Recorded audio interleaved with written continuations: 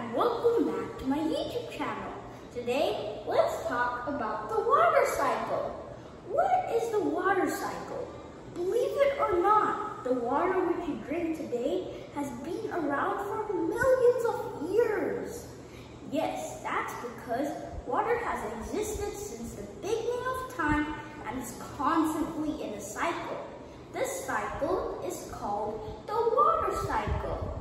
What is the water cycle? Before we get into that, I would like to advise you, please do not waste water as water is precious for our survival and without water, no animals or plants can survive. Besides, we use water in all our daily uses, such as brushing, bathing, swimming, cooking, etc. So now let's explore what is the water cycle. Take a look at my picture. I've drawn an ocean and now when the sun shows up on the ocean, the water droplets will turn into water vapor due to the high temperature.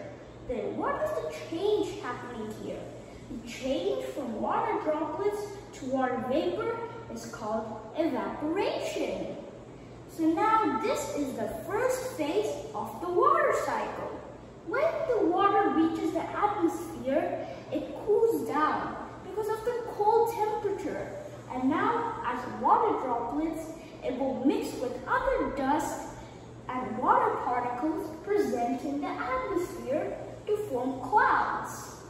This process is called condensation, also known as the second phase of the water cycle.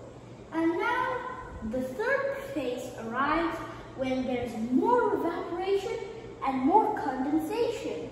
At one point, the clouds cannot hold the water anymore, and so the water will fall down as rain, hail, snow, or sleet. This process is called precipitation.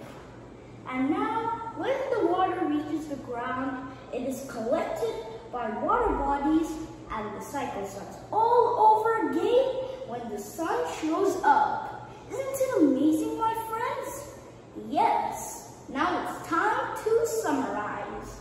Evaporation, condensation, precipitation, and back to water. Bye-bye. I hope to see you in the next video and thanks for watching.